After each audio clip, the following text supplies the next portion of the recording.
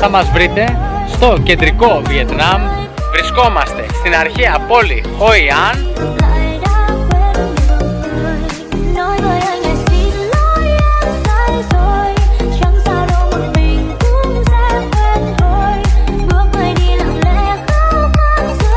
Είναι το Marble Mundines, γενικώς ένα ε, πλούσιο πλατό. Λευκό Σαρντονέ Αργεντινής. Και δείτε πίσω μου ο άνθρωπος από τι είδους εστιατόριο τρώει. Και ένα σμούθι ακόμα. Thank you. Την μεξικάνικη λεμονάδα όπως μας είπε η κοπέλα η οποία ονομάζεται τεμπασέ.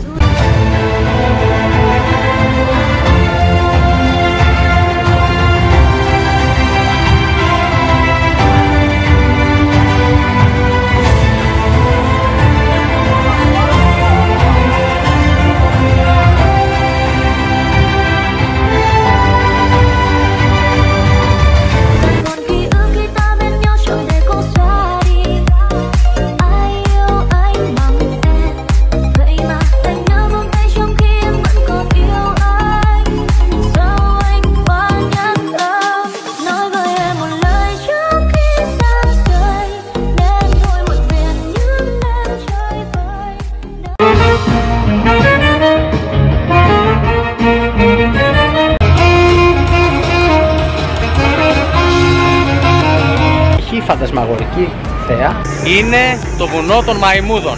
Να τη δω η κυρία. Αυτό εδώ ακριβώς ίσως είναι το πιο μεγάλο καβούρι που έχω δει στη ζωή μου. Ολόκληρο το χέρι μου είναι ο κάβουρας. Hello. Είναι εξαίρετο το πιάτο. Καλώς ήρθατε στην νυχτερινή ζωή της Da Nang. Στην καλύτερη θέα της Da Nang. Ένα από τα μεγαλύτερα αγάλματα στον κόσμο. Ένα άγαλμα με 67 περίπου μέτρα ύψος. Μαρμάρινα βουνά.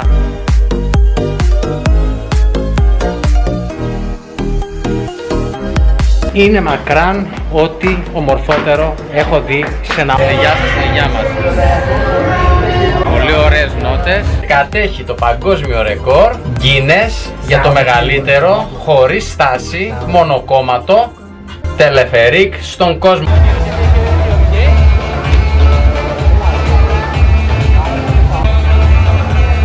Βρισκόμαστε στην Golden Bridge.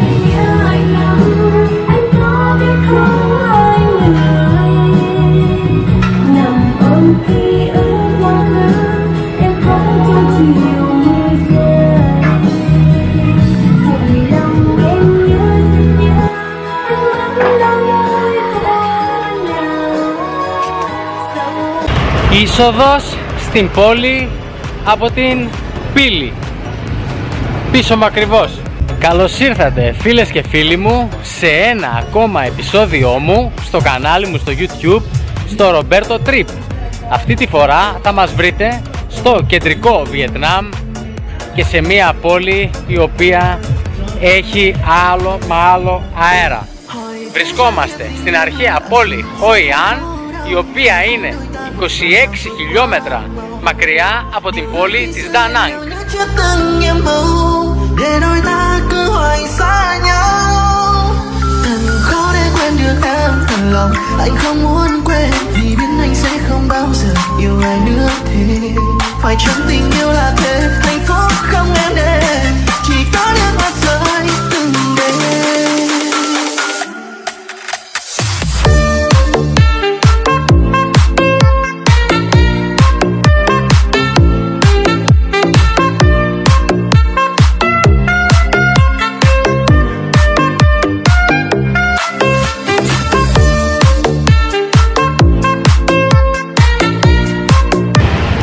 Η αρχαία πόλη της Χόιαν ανακηρύχθηκε από την UNESCO Μνημείο Παγκόσμιας Κληρονομιάς το 1999.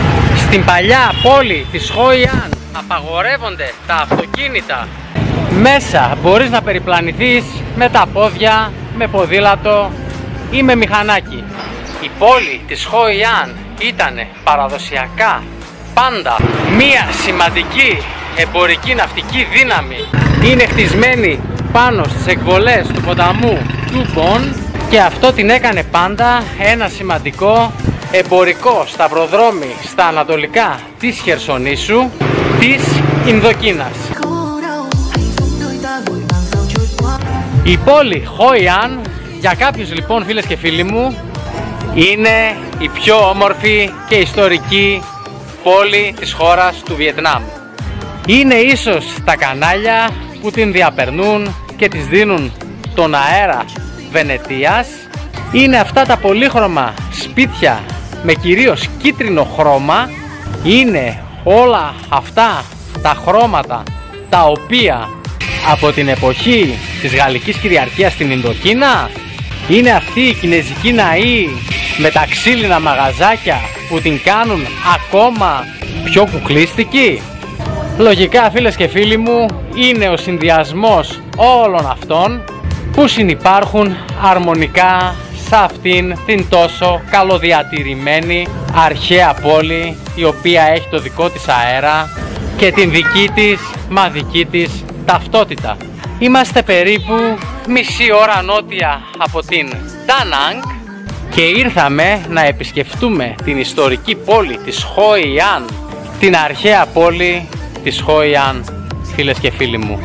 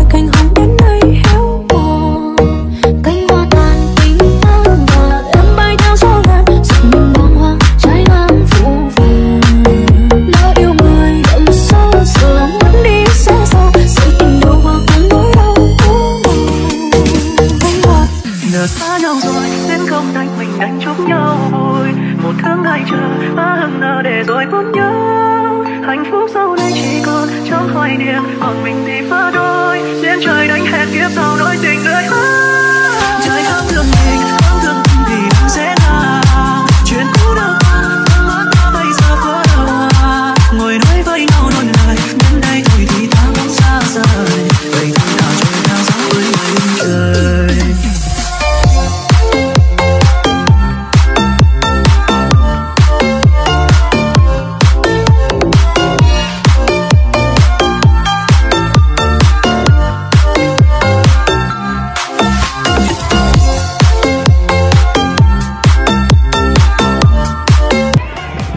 Και έτσι πως βλέπουμε το σκηνικό εδώ πέρα στην Χόιάν να είναι στημένο με αυτόν τον τρόπο; Πραγματικά όπως σας ε, έχω πει στην αρχή αυτή η κατάσταση όλη μου θυμίζει ένα κομμάτι Βενετίας της Ιταλίας παιδιά. Αυτά τα κανάλια αυτές οι βαρκούλες οι οποίες θα σας κάνουν βαρκάδα βέβαια δεν είναι ίδιες με αυτές της Βενετίας οι οποίες είναι γόντολα και είναι πιο ρομαντικές όμως θα σας φέρουν πάρα πολλές εικόνες στο μυαλό εάν έχετε ταξιδέψει στη Βενετία και έχετε έρθει εδώ πέρα στην πόλη του Χόιαν στο Βιετνάμ. Ε, άλλο πολύ σημαντικό, εδώ πέρα στην αρχαία πόλη του Χόιαν δεν κυκλοφοράνε αυτοκίνητα παρά μόνο ποδήλατα. Υπάρχουν αρκετά μαγαζάκια τα οποία ε, θα σας προτείνουν ε, να σας κάνουν μασάζ, υπάρχουν φαγάδικα, σουβενιράδικα, με το που έρχεστε εδώ πέρα και σας βλέπουν σαν τουρίστα, κατευθείαν πέφτουν πάνω σας. Υπάρχουν και πάρα πολλοί ενοχλητικοί, θέλουν να σας αρπάξουν, μπας και ε, βγάλουν κάποιο χρηματικό ποσό διότι οι άνθρωποι εδώ πέρα πραγματικά δυσκολεύονται. Και τώρα αυτό που σας έλεγα πριν με τα καραβάκια τα οποία σας κάνουν βόλτα θα σας δείξω τώρα και κάποιες βάρκες μικρές οι οποίες μοιάζουν με γόνδολες βέβαια δεν είναι γόνδολες είναι αυτές οι ξύλινες βαρκούλες εδώ πέρα οι οποίες βλέπετε οι οποίες θα σας κάνουν μια πολύ όμορφη βόλτα για να βιώσετε και τη μεγάλη βάρκα και τη μικρή βάρκα φίλοι μου. Εδώ πέρα πίσω μου ακριβώς όπως θα δείτε είναι γεμάτο μα γεμάτο μαγαζάκια από το οτιδήποτε θέλετε από φαγητό, σουβενίρ μέχρι και μασάζ. Ngàn năm trôn dấu yêu thương em anh giữ trong lòng.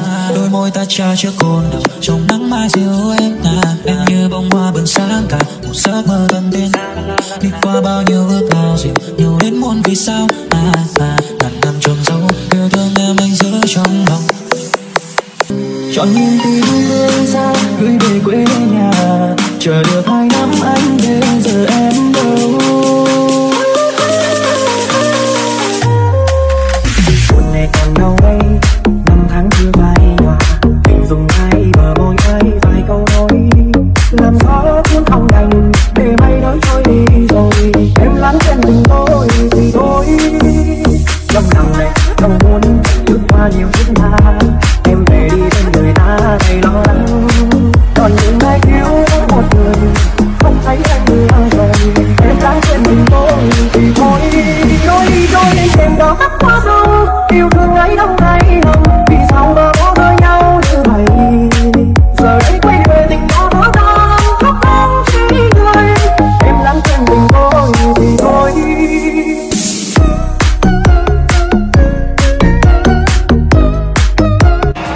Βρίσκομαι σε μία τουριστική γέφυρα η οποία μοιάζει με μήλο.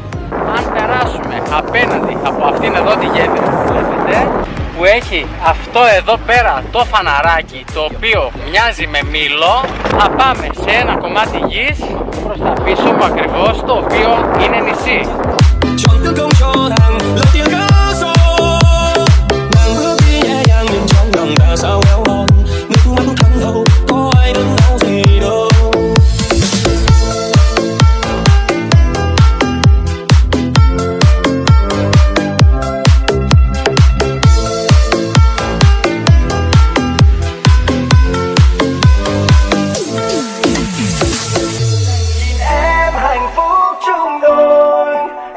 Em rồi, chỉ anh nhớ thôi.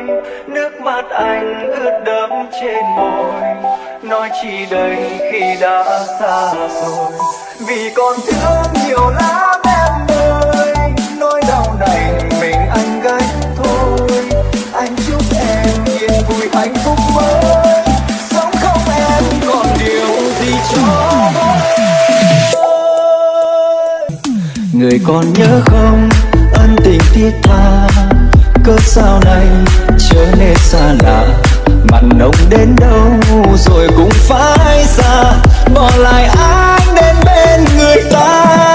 Đành nhìn em hạnh phúc chung đôi. Em quên rồi, chỉ anh nhớ thôi. Nước mắt anh ướt đẫm trên môi. Nó chỉ đời khi đã xa rồi. Vì còn thương nhiều lắm.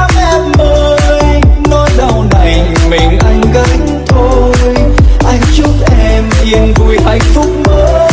Sống không em còn điều gì cho vơi. Con đi qua từng góc phố. Người có con yêu, bao phút giây hẹn hò. Còn sợ mỗi tối khi đông gió về. Chờ em em tới ôm anh thật lâu. Từng phút, từng giây yêu thương lìa xa. Giọt nước mắt anh sao đớn đau? tạm biệt hạnh phúc trao nhau hồi nào tạm biệt chàng trai em đã từng yêu. Em đã từng rất yêu. Nếu như một câu nói có thể khiến anh vui, sẽ suốt ngày luôn nói không ngừng để anh cười. Nếu em làm như thế trong em có hâm không? Đi đi điên lắm nhưng ngày vô nhà thương nhưng ngày vô nhà thương nhưng ngày vô nhà anh để thương. Giây phút em gặp anh là biết em xin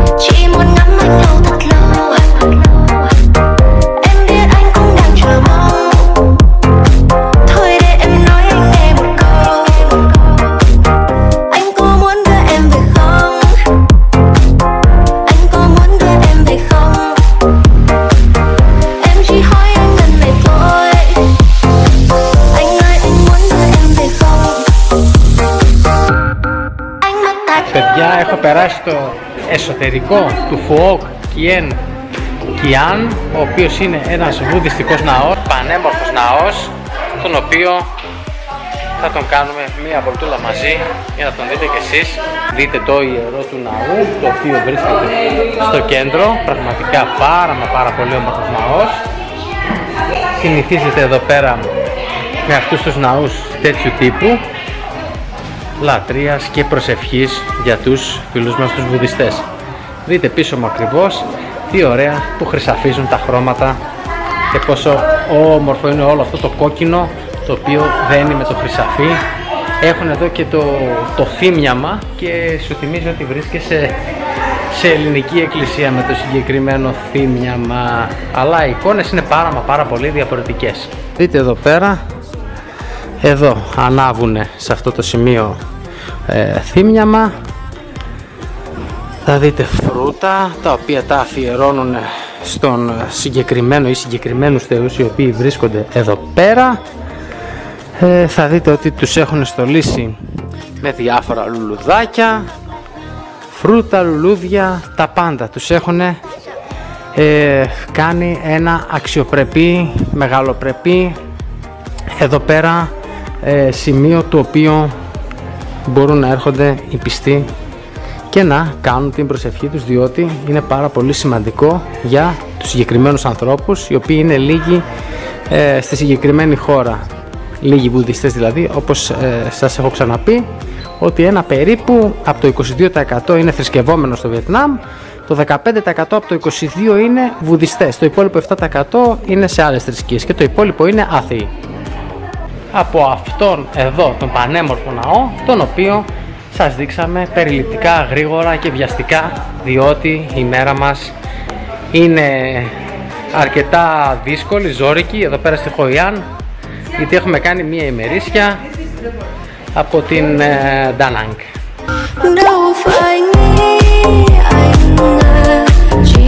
đâu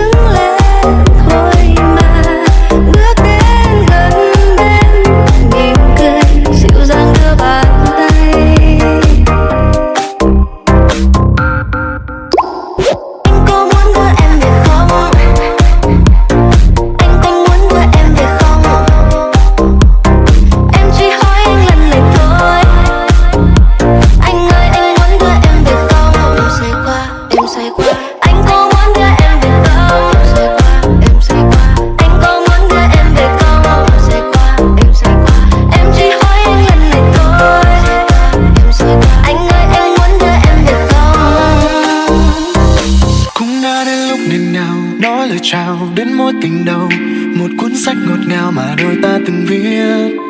Em như bông hoa mặt trời, có nụ cười, đốt cháy lòng người. Có lẽ em là thanh xuân của tôi.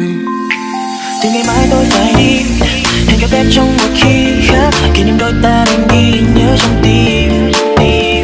Này người ơi, em đừng quên, lần đầu tiên ta bước đến. Mình đã chìm vào vùng trời yêu thương.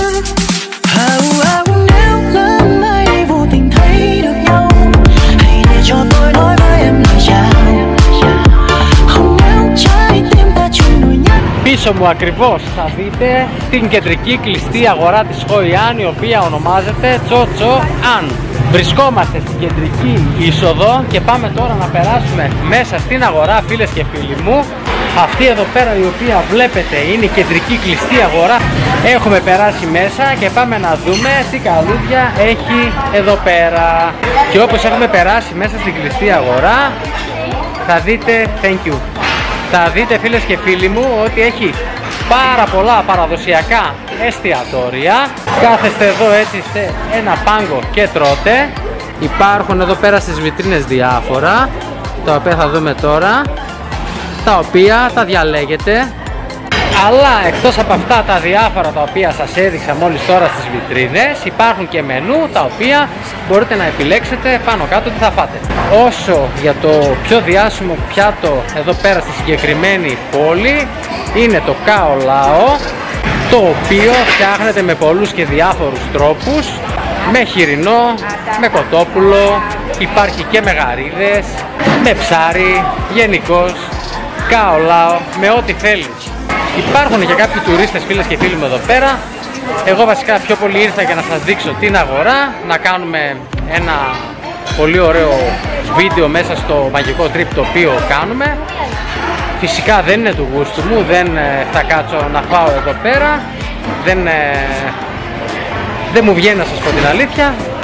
Εγώ προτιμάω διαφορετικό τρόπο ε, φαγητού, να κάτσω σε ένα εστιατόριο το οποίο θα με ευχαριστήσει με πολύ ωραίο κλίμα. Εδώ πέρα γενικώς η κατάσταση έχει πάρα πολύ ήχο, ε, έχει κάποιες άσχημες οσμές ε, και δεν μου αρέσει όλο αυτό το χυμαδιό σε γενικές γραμμές. Ένα άλλο ε, διάσημο βιετναμέζικο σάντουιτς είναι το banh mi. Έχει μέσα διάφορες σαλάτες, έχει σάλτσες και αρκετό χοιρινό. Τώρα για κάποιους επισκέπτες τουρίστες οι οποίοι είναι σε πολύ μακρινές χώρες από εδώ πέρα, δηλαδή όπως τη δικιά μας, δηλαδή από ευρωπαϊκά κράτη, από αμερικανικά, εντάξει, μπορούν αν θέλουν να καθίσουν, να δοκιμάσουν και να βιώσουν όλη αυτή την κουλτούρα την οποία ζουν εδώ αυτοί οι άνθρωποι καθημερινά. Κάτι άλλο το οποίο είναι πολύ σημαντικό, θα σας πω για το εισόδημα του μέσου κατά κεφαλήν Βιετναμέζου, ο οποίος παίρνει τον χρόνο, είναι κάτι λιγότερο από 4.000 δολάρια τον χρόνο φίλες και φίλοι μου, που δεν ξέρω αν ισούται και στα 250 ευρώ μηνιαίως. Λίγο δύσκολο να ζήσει κάποιος με τέτοιο εισόδημα, αν και βέβαια οι τιμές εδώ πέρα είναι αρκετά χαμηλές. Πολύ σημαντικό σε σχέση με την Ελλάδα, τα προϊόντα πρώτης ανάγκης, αντιστοίχως με εδώ πέρα, εδώ πέρα είναι πάρα μα πάρα πολύ χαμηλά σε σχέση με τα ελληνικά δεδομένα ακόμα και αν έχουν τόσο χαμηλούς μισθούς εδώ πέρα οι Βιετναμέζοι. Ακόμα και έτσι είναι πιο συμφέρον στα συγκεκριμένα προϊόντα τα οποία σας έχω αναφέρει. Αυτά φίλες και φίλοι μου από την κλειστή αγορά φαγητού.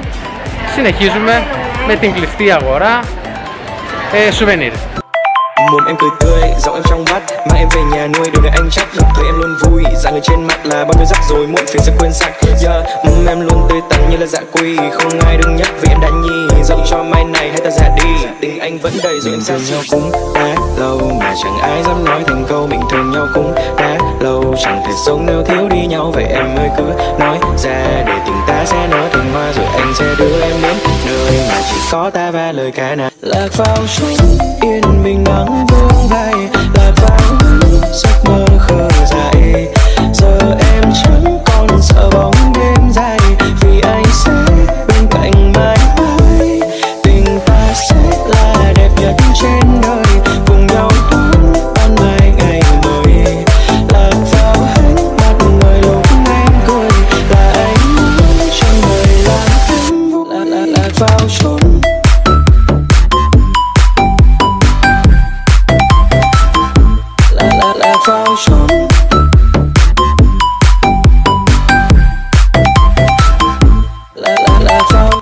εδώ πέρα όπως θα δείτε έχουμε φτάσει σε ένα άλλο σημείο το οποίο είναι αποκλειστικά σουβενιράδικο.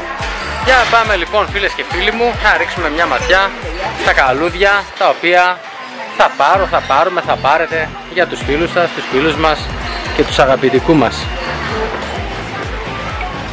Μια πάρα πολύ ωραία μεγάλη αγορά Thank you.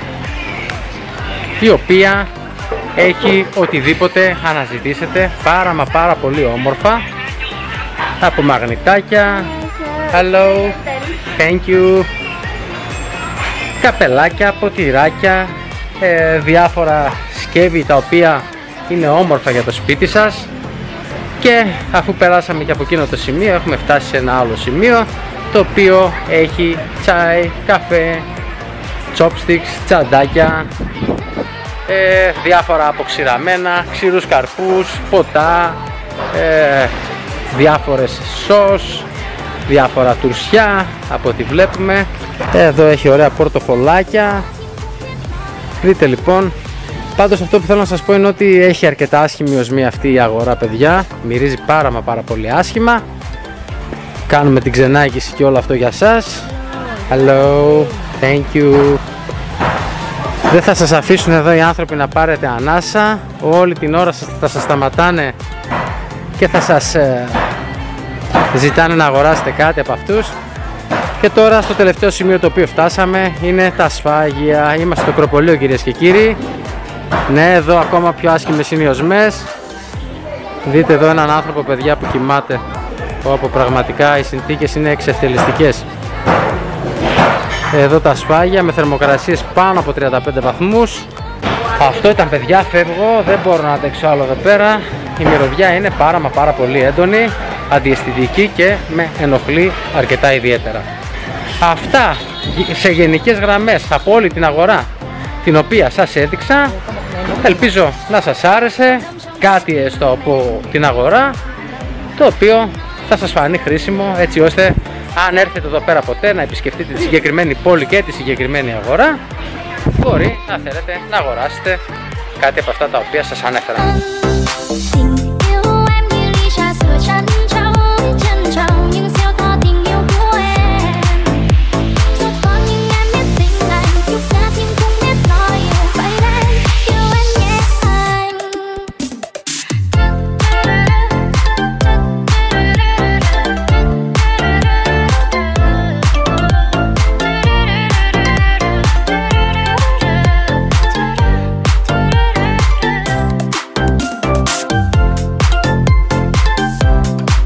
Τουριστικές βάρκες στο ποτάμι όπου είναι και ο παραδοσιακός τρόπος των ντόπιων και όλες αυτές οι δεκάδες βάρκες οι οποίες βλέπετε εδώ πέρα είναι τουριστικές οι οποίες κάνουν μίνι κρουαζιέρες στο ποτάμι τους τουρίστες. Ο συγκεκριμένος ποταμός και τα κανάλια του έχουν το όνομα Μπουτών. Ο ποταμός Μπουτών λοιπόν, όπου στο δέλτα του υπάρχει πάρα πολύ μεγάλο δίκτυο νησίδων αλλά αυτό το συγκεκριμένο έχει κάτι πάρα μα πάρα πολύ ιδιαίτερο. Είναι το πιο πικροκατοικημένο από όλα τα υπόλοιπα. Γενικώ η αρχιτεκτονική στο Χόιαν η οποία συναντάμε έχει πάρα μα πάρα πολλές επιρροές από την Ιαπωνία και από την Κίνα και κυρίως ε, από κάποια ευρωπαϊκή χώρα όπως η Πορτογαλία. Τον 18ο αιώνα η τότε κυρίαρχη δυναστεία της χώρας, η Τάισον, ήταν εντελώς αντίθετη με την εξωστρέφεια και τις πολλές εμπορικές συναλλαγές με τους ξένους. Τότε λοιπόν η Χόιαν, η οποία βασιζόταν στο εμπόριο, άρχισε σιγά σιγά να παρακμάζεις. Και το 1775 καταστράφηκε σε συγκρούσεις ανάμεσα στις αντίπαλες δυνάμεις της περιοχής και στη συνέχεια γνώρισε ανάπτυξη η γειτονική πόλη Ντανάνγκ και η Χόιανγκ έμεινε για 200 χρόνια παραμελημένη και πρακτικά ανέγγικτη. Τη δεκαετία του 1990 ξεκίνησε η αποκατάσταση και η ανακαίνιση ολόκληρης της πόλης έτσι ώστε να φτάσουμε σήμερα που η πόλη έχει γίνει κουκλίστικη και ένας από τους σημαντικότερους πόλους έλξης επισκεπτών σε ολόκληρη τη χώρα φίλοι μου. Το ποτάμι του Μπον λοιπόν αποκαλείται και μητρικό ποτάμι λόγω της εμπορικής σημασίας και της οικονομικής ανάπτυξης της πόλης από την αρχαιότητα από αυτό εδώ ακριβώς το ποτάμι κατέβαιναν προϊόντα από την ενδοχώρα του Βιετνάμ και από την Χοϊάν τα έπαιρναν Κινέζοι, Ιάπωνες, Άραβες, Ινδοί αλλά και Ευρωπαίοι εμπόροι θάλασσοπόροι για να τα μεταφέρουν σε ολόκληρο τον πλανήτη κυρίες και κύριοι. rồi đóng tim muôn đời chỉ chờ đợi em nói rằng với một lời em thích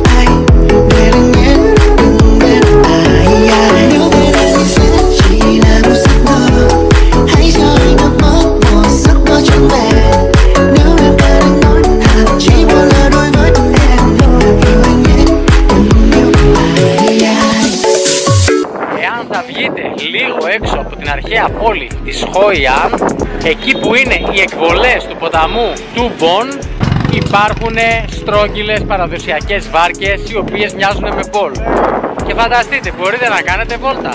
Οι βάρκες αυτές ουσιαστικά τι είναι, είναι κάποια τεράστια καλάθια τα οποία είναι φτιαγμένα από μπαμπού και από έξω έχουν μία στρώση από κάποιο είδος λαδιού το οποίο αν δεν κάνω λάθος πρέπει να είναι ή καρύδας ή από φινικέλαιο που χρησιμεύει στο να μην μπαίνει μέσα το νερό στη βάρκα. Η κάθε μία βαρκούλα έχει χωρητικότητα δύο ατόμων. Πάρτε τα καπέλα σας και ετοιμαστείτε να κάνετε μία όμορφη βόλτα φίλες και φίλοι αν το επιθυμείτε. Βέβαια αν έχει τέτοιο ήλιο όπως έχει αυτή τη στιγμή εδώ πέρα ζητήστε τους να σας δώσουν μία ομπρέλα, έχουν ομπρελίτσες οι οποίες θα σας χρησιμεύσουν παιδιά διότι ο ήλιος πραγματικά καίει δαιμόνια. Και μπορείτε να κάνετε αν θέλετε βόλτα της μίας ώρας, όχι παραπάνω, δεν το θεωρώ σημαντικό. Αυτά λοιπόν και για το συγκεκριμένο ενημερωτικό με τις βάρκες, ελπίζω να σας έχω καλύψει. Συνεχίζουμε. Τη βόλτα μας εδώ πέρα στη Χοϊά. chủ nhật trời không có mây bay trời không có mây bay và trong ngỡ anh hái bông hoa anh cài lên tóc em. rồi nắm đôi tay của em nhạc vang lên theo trái tim Εδώ πέρα πίσω μου ακριβώς θα δείτε κάποια φυτά τα οποία φυτρώνουν μέσα στο νερό. Υπάρχουν αρκετά καβούρια και γενικώ οι ψαράδες έρχονται εδώ πέρα και ψαρεύουν καβούρια.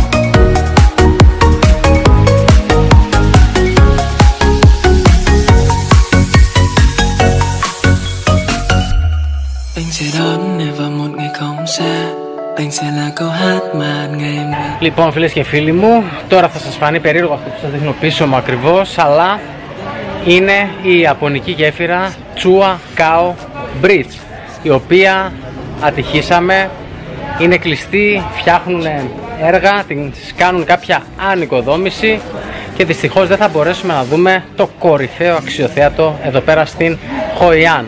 Σας το φιλούσα για το τέλος, αλλά δυστυχώς ε, η συγκεκριμένη γέφυρα είναι κλειστή και έτσι δυστυχώς νιώθω λίγο απογοητευμένος γιατί περισσότερο ήρθα για το συγκεκριμένο αξιοθέατο ε, είναι μια πάρα πολύ ωραία ιαπωνική γέφυρα η οποία σας θυμίζει η Ιαπωνία αν έχετε πάει η Ιαπωνία. Θα σας δώσω απλά κάποιες πληροφορίες τις οποίες αν είστε τυχεροί και εσείς και έρθετε στο Βιετνάμ και δεν βρείτε αυτό που βρίσκω εγώ αυτή τη στιγμή θα γνωρίζετε ότι αυτή εδώ είναι μία από τις πιο διάσημες και ιστορικές γέφυρες σε ολόκληρο το Βιετνάμ και γενικά στη χώρα του Βιετνάμ έχει πάρα μα πάρα πολύ όμορφες γέφυρες οι οποίες κάποιες από αυτές είναι ιστορικές. Η συγκεκριμένη γέφυρα λέγεται Τσουακάο και είναι μια γέφυρα αποκλειστικά για πεζούς και έχει κάτι πολύ ιδιαίτερο από πάνω. Έχει έναν ναό, έναν βουδιστικό ναό. Βασικά ο ναός είναι ταοιστικός. Η γέφυρα σαν γέφυρα φτιάχτηκε το 1593 αλλά ο ναός μπήκε από πάνω αργότερα και εγκαινιάστηκε το 1653. Το μήκος της γέφυρας είναι 16 μέτρα και αν δεν κάνανε εργασίες αυτή τη στιγμή θα μπορούσαμε να την περπατήσουμε φίλοι μου. Και όταν θα ανεβείτε στη γέφυρα, ακριβώς στο κέντρο της γέφυρας, είναι ο ναός, ο τατοιστικός θεός στον οποίο είναι αφιερωμένος ο ναός που είναι πάνω στη γέφυρα. Λέγεται ότι ελέγχει τον καιρό και είναι φυσικά άρρηκτος συνδεδεμένος με την παράδοση της πόλης. Αυτά φίλες και φίλοι μου, σας ευχαριστώ πάρα μα πάρα πολύ που ήσασταν κοντά μου σε ένα ακόμα επεισόδιό μου στο κανάλι μου στο YouTube στο Roberto Trip θα αποχωρήσουμε από αυτήν την πανέμορφη αρχαία πόλη της Χοϊάν όπου και κάναμε μία ημερίσια από την πόλη της Ντανάνγκ πραγματικά περάσαμε πάρα μα πάρα πολύ όμορφα. Ένα ωραίο γεμάτο 7 ωράκι. Και έτσι θα πάρουμε την Κατιούσα για να επιστρέψουμε πίσω στην πόλη της Ντανάνγκ να είστε όλοι καλά, φιλάκια πολλά, να περνάτε υπέροχα. Και όποιος δεν έχει κάνει εγγραφή στο κανάλι να κάνει παρακαλώ μια εγγραφή. Είναι δωρεάν, με βοηθάτε πάρα πολύ σε αυτό που κάνω. Να είστε όλοι καλά φιλάκια, γεια σας.